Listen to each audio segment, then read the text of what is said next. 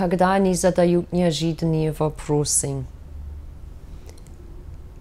когда они начинают ходить ко мне, и им очень сложно понимать, если я говорю на английском, и им очень сложно что-то сказать.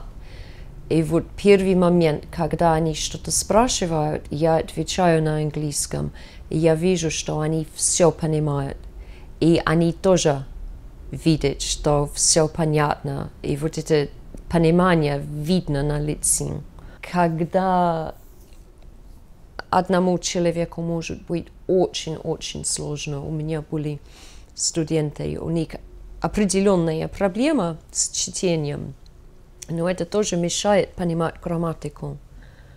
И когда я с ними работаю не, в принципе, по учебнику, потому что это они не помнят потом.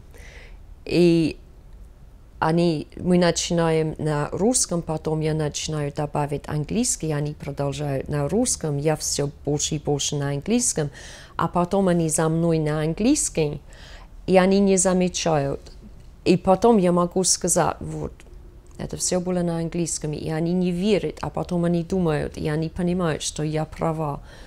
Когда они хотят готовиться к экзамену, и я вижу, как они стараются, и они волнуются, и я могу им помогать и отвечать на их вопросы, а потом они набирают баллы в экзамене.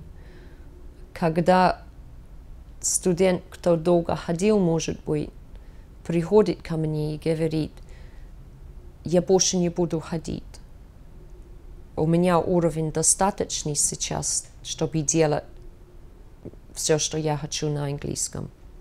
Не будем терять связи, может быть, потом я буду ходить, чтобы не потерять знания, но я могу сейчас сам.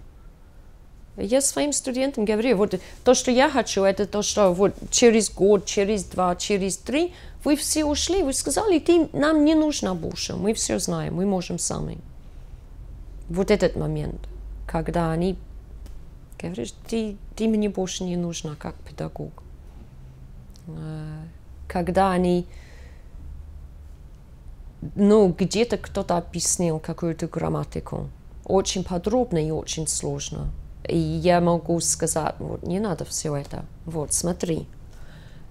И они смотрят, и они понимают, что вот это все, что надо знать, это все, что надо понимать. И сейчас все настолько легче.